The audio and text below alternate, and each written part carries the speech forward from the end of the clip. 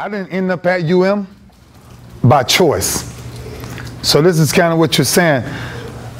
You know, I was messing around on my SAT, wasn't hadn't passed it yet, blah blah blah blah, and I got to a point to where I just locked in and I settled in, but I didn't have a scholarship.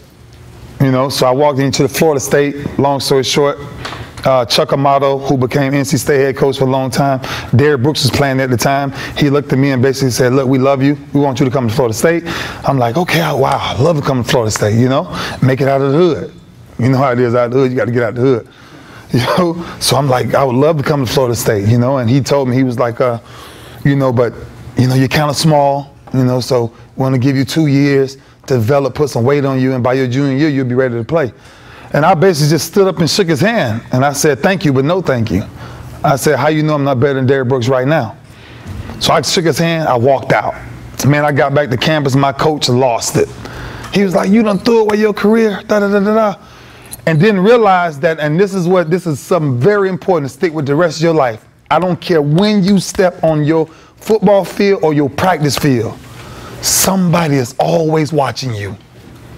You don't never know who it is but somebody is always watching you to see what makes you different. And my last high school game I played in, I played against the number one recruit in the nation, which is Jammi German from Fort Myers at the time. And University of Miami, which was Dennis Erickson, and the offensive coordinator, which was Art Kehoe, came to see their recruit because Jamie had already committed to Miami. That was my last high school game I ever played in. I lost that game. We lost that game bad, actually.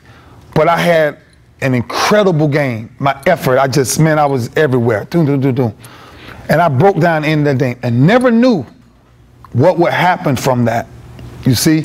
So I started had to make decisions like you're talking about, go to a lower school, had to start looking into, you know, division two options, like, you know, okay, I ain't got no scholarship on the table. Four days before signing day, four days before signing day, the, their, their recruit, their linebacker, blew out his knee riding a four wheeler. Dennis Erickson called me four days before signing day, and the University of Miami gave me their scholarship. And that's how I ended up in Miami. You know, so it wasn't that I was this better athlete or I had this. No, it was just that my effort and what I showed on film paid off.